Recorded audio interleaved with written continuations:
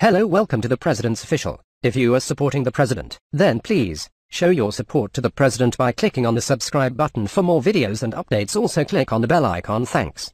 And write in the comment section, make America great again. Well, thank you very much. It's great to be with President Macron of France, and we've had a uh, fairly long relationship and a very good one. And uh, we were just discussing certain things, and then we're going to have a long conversation afterwards. I want to, first of all, before we begin, I want to pay my respects to the great warriors that you lost in Mali. 13 uh, helicopters uh, was very sad. I've gotten a report on it. Uh, We talked about it, and please uh, give my condolences to the families and to France. Uh, Great fighters, you've done a fantastic job in that whole area, it's a tough area, so we appreciate it very much. We'll be talking about a lot of things, including NATO and including trade. We do a lot of trade with France. We have a minor dispute, I think we'll probably be able to work it out. But uh, we have a big trade relationship, and uh, I'm sure that within a short period of time, things will be looking very rosy, we hope. Uh, That's usually the case with the two of us. We get it worked out. We've had a lot of good, a lot of good things. We've done a lot of good things together as partners.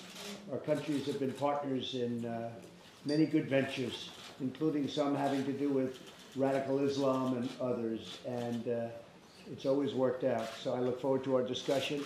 We made a lot of progress in our first 25 minutes, and we intend to make uh, a lot of progress in our next uh, hour, maybe hour and a half. So thank you very much. my friend. Thank you. Thank you.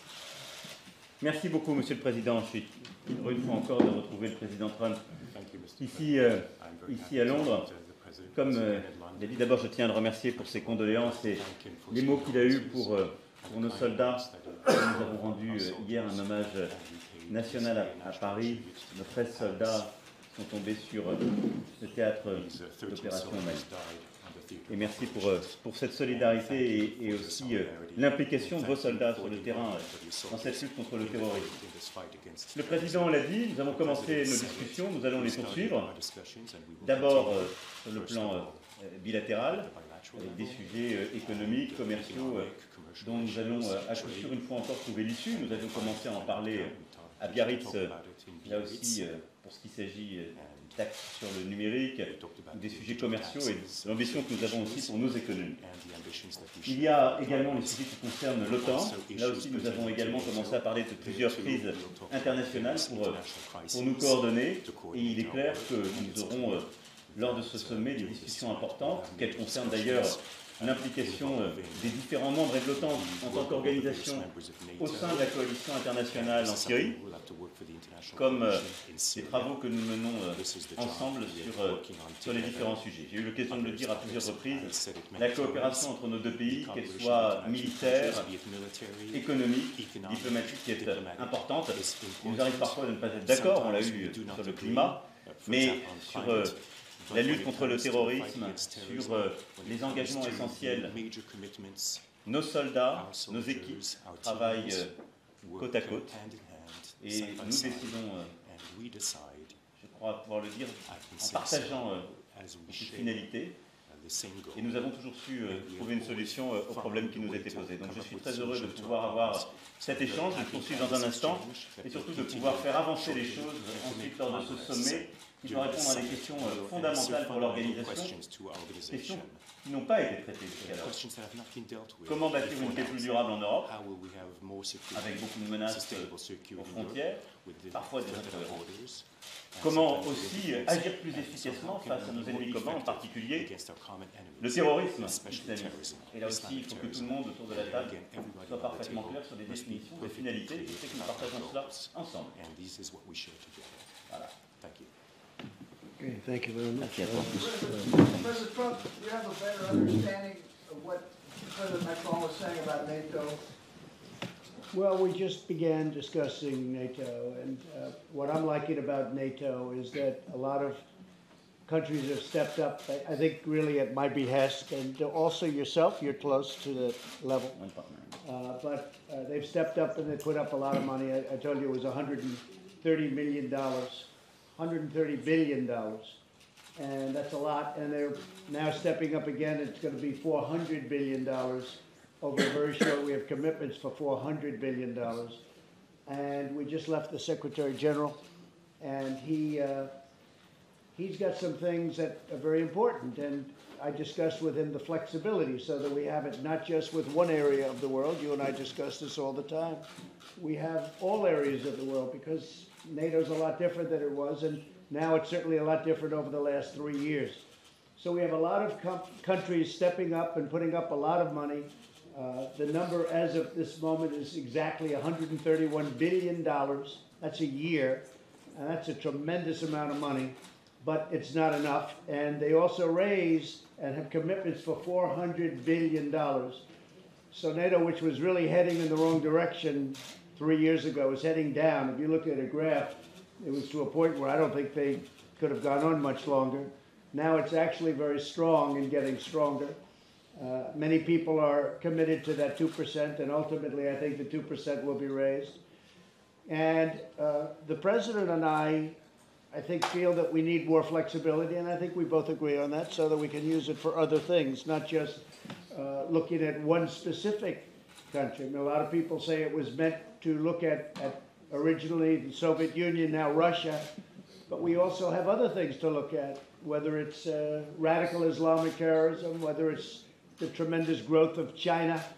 Uh, there are a lot of other things. So NATO is becoming uh, different than it was, much bigger than it was, and much stronger than it was because people are now fulfilling their commitments. There are some countries that aren't fulfilling their commitment, and those countries are going to be dealt with. Maybe I'll deal with them from a trade standpoint. Maybe I'll deal with them in a different way.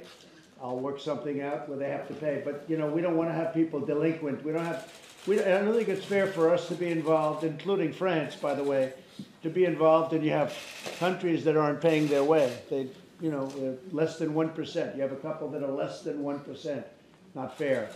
So NATO's made a lot of progress over the last three mm-hmm. years, and the word flexibility is very important. They're not just looking at one area now, they're looking at the world, and that's very important. To me, it's very important. Please. No, I, I know that my, my statements created some reactions and shake a little bit. A lot of people. I, I, I do stand by.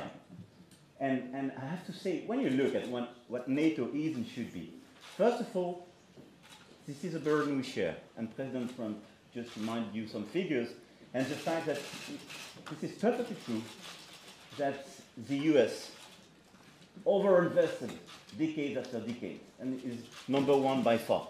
And I do share the statement. That's why I'm a strong supporter of a stronger European component in NATO, which is exactly what we are doing.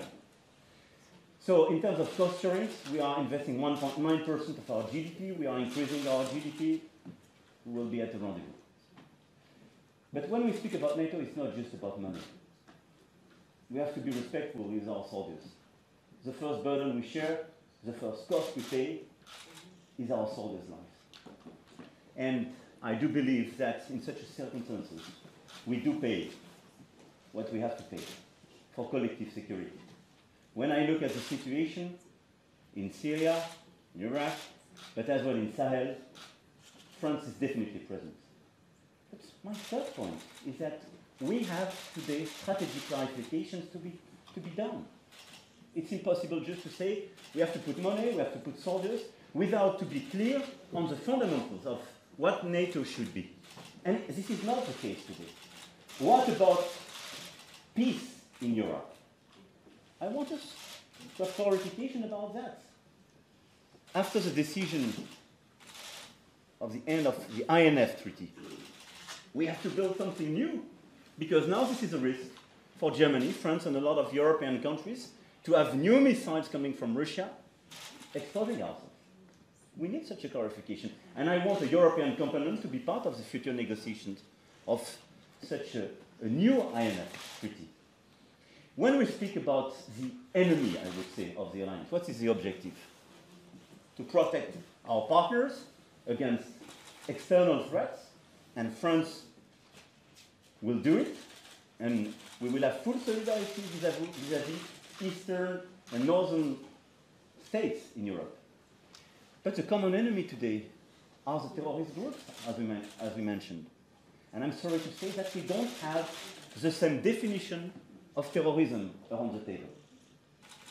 When I look at Turkey, they now are fighting against those who fight with us, who fought with us, shoulder to shoulder against ISIS.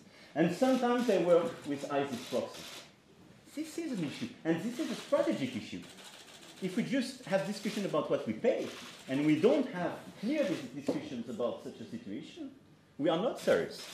We are not serious for our soldiers, we are not serious for our people. This is the very reason of my statements. I do believe we need strategic clarifications. How to build long-term peace in Europe, who is the enemy today? And let's be clear and work all together on that. I know that we do share exactly the same. Having less budget exposure of the US means more European investment and more clarity on the European side. I do agree. Being strict and very efficient against terrorist groups means having clear, clear definition of these groups and no ambiguity. I think we do agree. Well, one thing I will also, I'd like to say that you've been really doing a great job in Africa, and you've been very much involved there, more than most, and that's been fantastic. Uh, I appreciate you saying the United States for decades have been paying really way, way disproportionately too much for NATO, and you'd have other countries paying far too little that are very directly you know, benefited by it, uh, and by the United States involvement. And we're changing that around somewhat, and it's very important. But we're a very important player. I think without us, NATO certainly is not the same thing as we discuss and discuss it at length. This morning we discussed it with Secretary General Stoltenberg.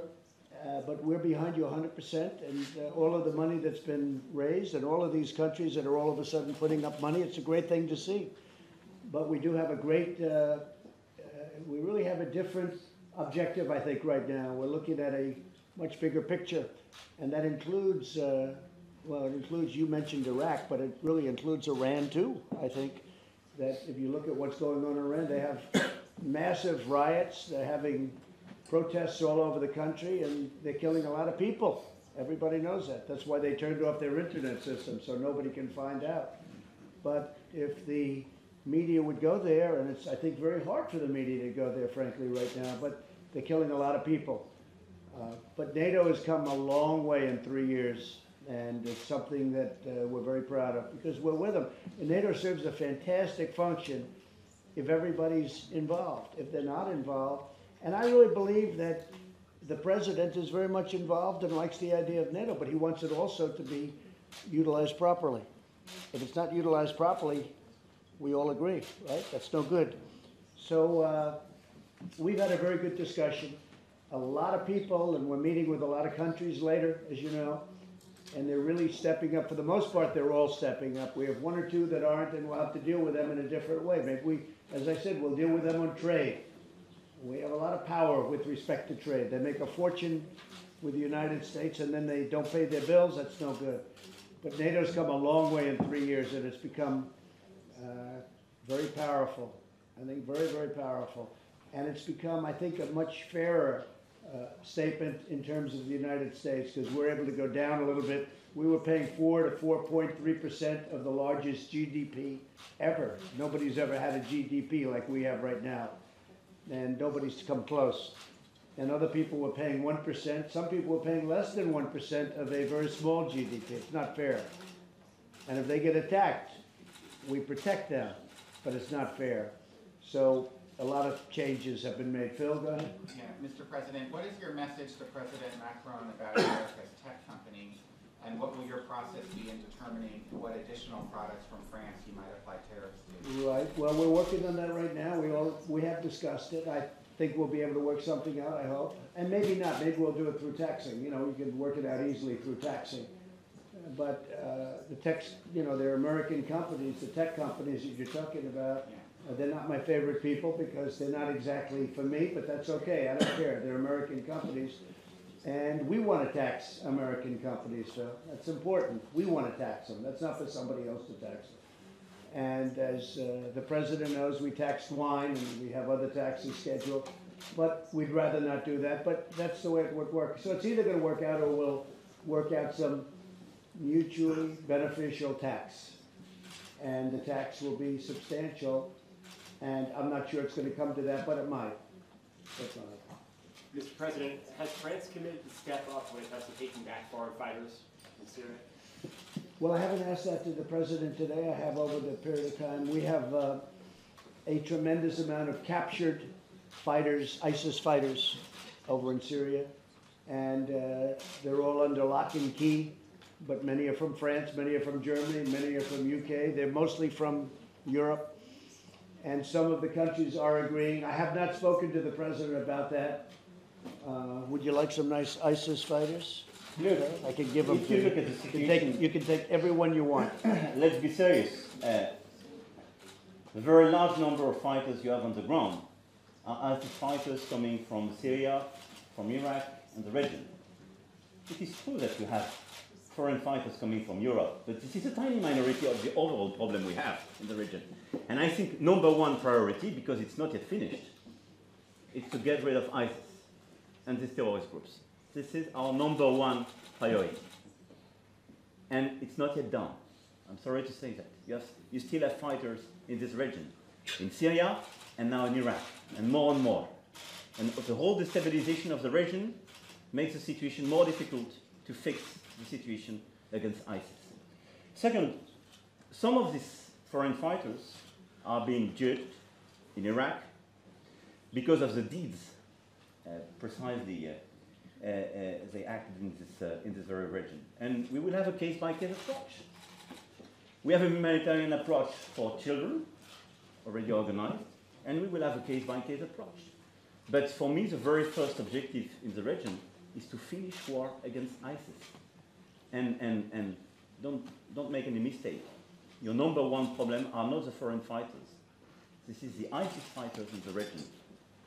And you have more and more of these fighters due to the situation today.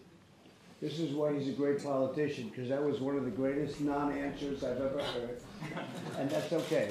Because sometimes there, are- there is, it, you can have some temptation from the, the US side, I don't say about President Trump, but could be the press, to say this is European responsibility. I'm sorry to say that. We have some of our people, but if you don't look at the reality of the situation, that is number one, not to be ambiguous with these groups. This is why we started to discuss about our relations with Turkey. But I think any ambiguity with Turkey vis-à-vis these groups is detrimental to everybody for the situation on the ground. France has actually taken back some fighters. Uh, But we have a lot of fighters. We captured a lot of people. And we have captured hundred percent of the caliphate, but you know that that means that it's still, they keep going and going. Uh, We set, a small contingent in and we wiped out another portion of ISIS. We don't want to happen, uh, to me, what happened with President Obama, where it reformed and then it became stronger than it was in the first place. So we don't want that to happen. And as I said before, we've taken the oil. We have the oil.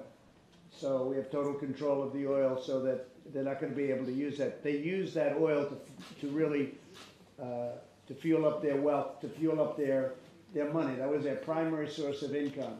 And they get contributions. So we have now lists of where these contributions come from, which is very important. You have people contributing, if you can believe it. Some of these people are wealthy people that make contributions. And we have lists of where, we, we learned a lot. You know, when we got al-Baghdadi, that was a great get. And when we killed him, uh, we have a lot of information that uh, I'm revealing now for the first time, but we also got a lot of good information. So uh, a lot of things are happening, and uh, France has been very helpful. I have to say that uh, they've been very, very helpful. Okay, go ahead. Any other questions, please? Monsieur le Président, euh, le président américain a eu des propos assez durs à votre rencontre euh, ce matin. Comment abordez-vous ce, ce sommet euh, de, de l'OTAN et, et cette rencontre Comme vous le voyez, avec beaucoup de pragmatisme et avec la volonté de faire avancer les sujets, comme toujours. Je défends les intérêts de la France, c'est aussi une position européenne, et je le fais avec le, le souci euh, également d'avoir une relation euh, amicale et constructive avec les États-Unis d'Amérique, et c'est ce que nous avons toujours euh, privilégié avec le président. On a une discussion sur l'OTAN, je viens de réexpliquer quelle était notre position, et elle est assumée. Elle est assumée parce que nous sommes engagés militairement dans des théâtres d'opération qui supposent la clarté. Ça a été évoqué. Il y a des sujets, ça a été évoqué par votre collègue américain, euh, qui euh, ont été révélés euh, hier, celui de la taxe numérique. Sur ce sujet, je peux vous apporter une réponse euh, extrêmement claire.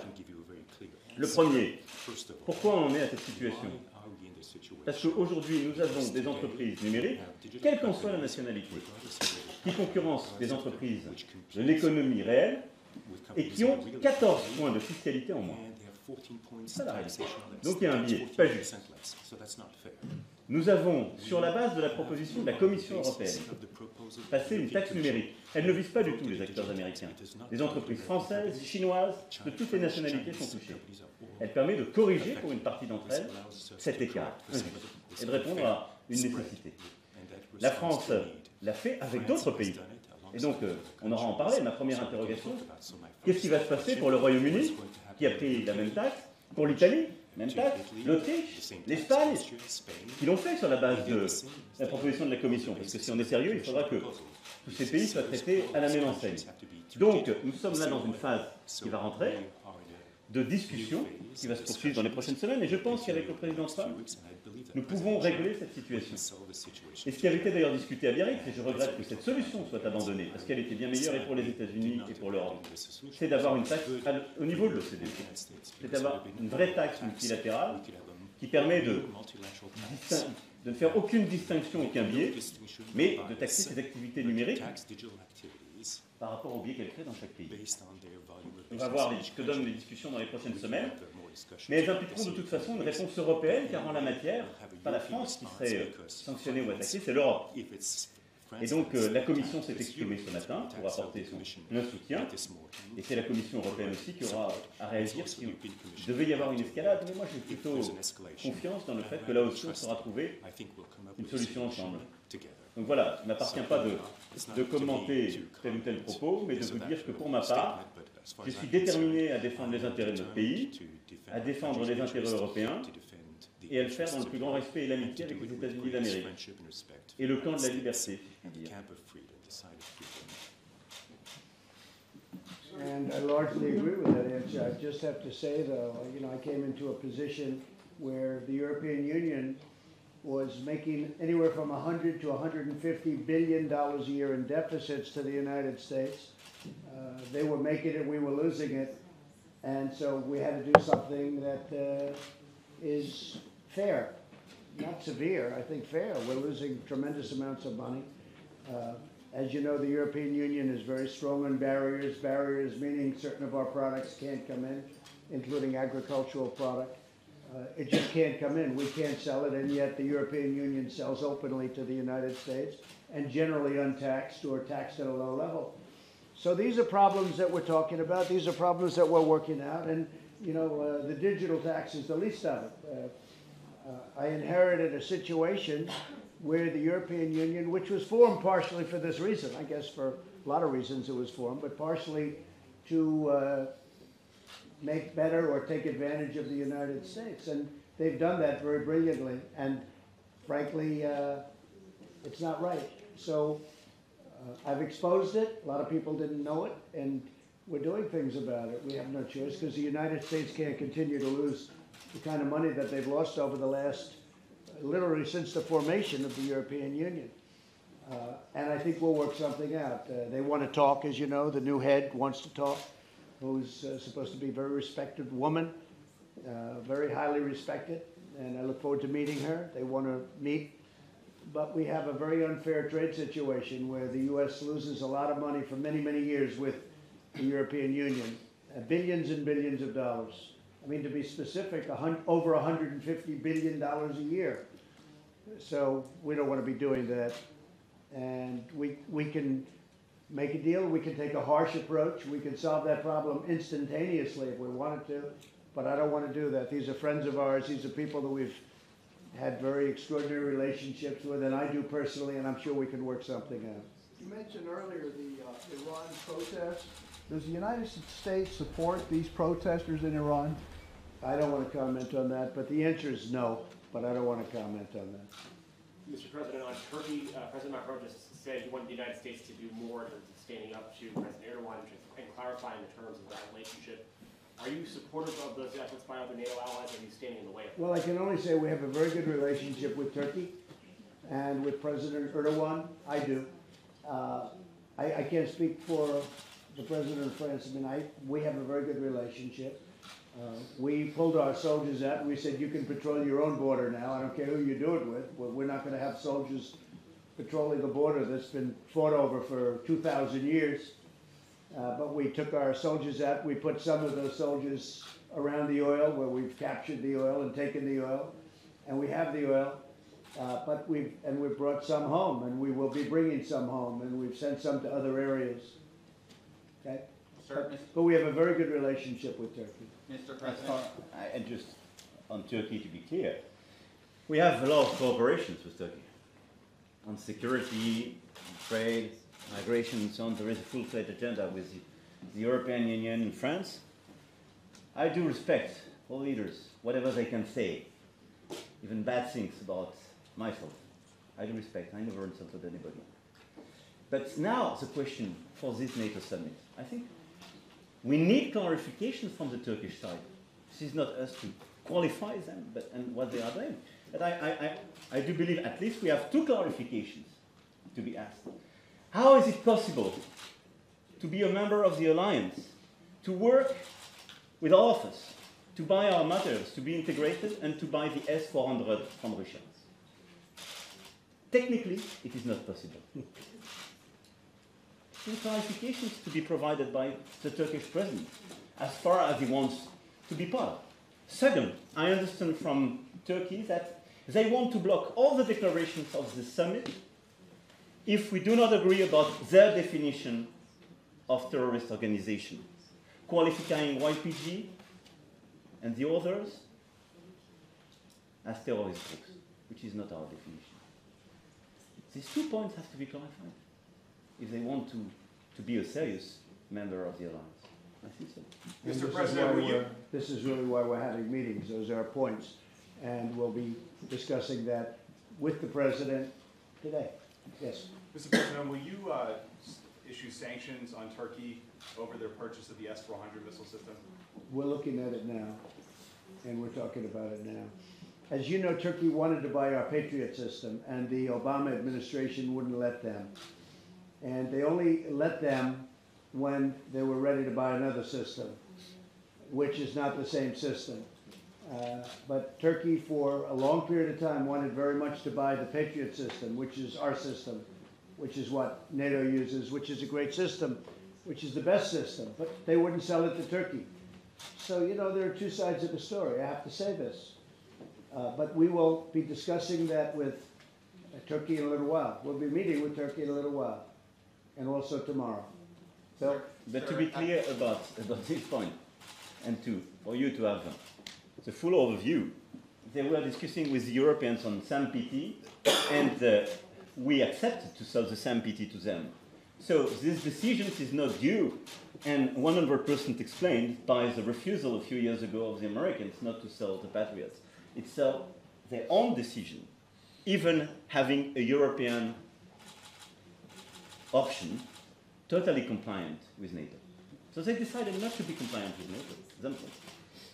Sir, uh, Mr. President, Prime Minister Johnson, I believe, is organizing some sort of discussion later today about the Syria conflict. Are you going to take part in that and meet with him? And if not, why? why Are you not? talking about Ambassador?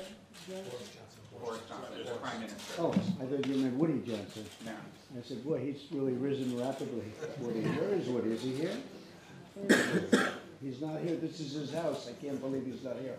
Uh, yes, we'll be meeting with uh, Prime Minister Johnson in a little while. I'll be seeing him later on. Uh, we're going over to number 10, which is a very exciting place to be, as you know. Uh, and we'll be discussing a lot of different things, yes. And one other related question, the, the London Bridge attack from a few days ago, do you have any comment here, your first day? No, I, I don't have a comment on the London Bridge attack, other than to say that I was very proud of those people that grabbed them and did such a good job between the fire extinguishers and whatever else. It was an amazing job they did, and he was very violent. You could see that. I mean, this was captured very much on tape. Uh, I think the, the way the, uh, I think they were British citizens, the way they stepped up was incredible. That was really great. So, uh, terrible thing, terrible attack. A lot of people uh, very badly hurt. I believe three or four killed. Is it four now today? Uh, so it's terrible. It's a terrible thing, and I know it's an act of terrorism. It's been declared an act of terrorism, radical Islamic terrorism, by the way, and it's uh, very bad, very bad. But I think the the way they stepped up to me, that was something very special. Okay. Mr. Trump, a question on Russia. Um, Mr. Macron says that uh, Russia sh- shouldn't be designated as, um, as an adversary of, of uh, NATO. Do you agree with that? Uh, do you think uh, Russia is the enemy? And Mr. Macron, who is the enemy today? I don't think he does feel that. I think we get along with Russia. I think we can get along with Russia. I think you feel we can get along with Russia. We've discussed that before. But certainly we have to be prepared, whether it's Russia or somebody else, we have to be prepared. But he and I have a pretty similar view on that. I think we feel that we can get along with Russia. And I think it's a good thing to get along with Russia. And uh, I campaigned on it. I mean, I go into big stadiums, people like it. And I think the Russian people would like to see it too. A lot of, a lot of good can come out of it. But the purpose of NATO is that, but the purpose of NATO can be much more, and that's where we're showing the flexibility over the last period of two years. Pour être clair sur votre question, l'Alliance s'est organisée pour en effet faire face à la Russie historiquement. Je pense qu'aujourd'hui, il nous faut regarder la nouvelle situation historique et aussi notre géographie, j'ai dit. Je n'ai aucune naïveté à l'égard de la Russie. Et nous sommes très conscients sur les attaques cyber qu'il y a pu avoir, sur les conflits gelés qu'il y a aux frontières de l'Europe, et y compris sur la crise ukrainienne que nous vivons. Est-ce que le statu quo est la meilleure des options? Je ne crois pas. Et donc, nous devons engager une procédure avec quelques préconditions et une méthode. Les préconditions, c'est, on le sait, de savoir avancer sur le conflit ukrainien. C'est ce que nous ferons d'ailleurs le 9 décembre prochain à Paris, avec un sommet euh, en format Normandie, pour essayer d'acter des avancées entre l'Ukraine et la Russie. Ensuite, c'est de pouvoir définir un agenda où les Européens, si possible ensuite les membres de l'Alliance, définissent des, des procédures de définition de menaces communes avec la Russie, de coopération possible, en tout cas des escalades. Ça prendra du temps. Mais je pense que si nous voulons, d'une part, la stabilité en Europe, d'autre part, réduire la conflictualité, il est important de- d'initier un dialogue stratégique avec la Russie. Il faut le faire sans aucune naïveté et il faut le faire en étant conscience aussi du poids de l'histoire et de la peur que certains pays européens ont à l'égard de la Russie. Et je le dis ici euh, en ayant beaucoup de respect et d'empathie pour ces derniers, à l'égard de la Pologne, des États baltes, de certains États nordiques, la Roumanie et de quelques autres. Nous savons que ce qui est attendu de nous, c'est aussi de les protéger à l'égard de, de potentielles agressions. Et donc, dans ce cadre-là, nous devons apporter de la visibilité pleine et entière sur les protections que l'Alliance et en son sein l'Europe peut, leur- peut et doit leur apporter. Et la France y jouera tout son rôle. Enfin, si je pense qu'il y a un ennemi commun, c'est le terrorisme international et en particulier le terrorisme islamiste. aujourd'hui. Soyons clairs, c'est ce qui nous conduit à agir ensemble au Levant, dans le cadre d'une coalition internationale qui est aujourd'hui euh, est sur responsabilité américaine, mais où l'OTAN est engagée en tant qu'organisation, et comme vous le savez, la France est très présente. C'est aussi ce qui nous conduit à agir au Sahel contre ces groupes terroristes. Monsieur le Président, on, on sent déterminé que isolé sur la scène euh, européenne, parce que vous avez parlé de la peur de la Russie, il y a aussi la peur, il faut le dire, des États-Unis, de la part de certains de, vos voisins, euh, qui se disent on ne peut pas avoir à la fois une, une défense européenne forte et être dans, dans l'OTAN. Je sais que c'est ce que vous essayez de dire, vous conseillers disent on peut avoir fromage et dessert, c'est l'expression qui, est- qui est revenue. Comment vous arriverez à bouger les lignes, sachant qu'il y a des situations politiques un peu compliquées, y compris chez vos voisins les plus puissants en Allemagne, en Italie D'abord parce que c'est pas fromage et dessert, ou alors c'est un cheesecake.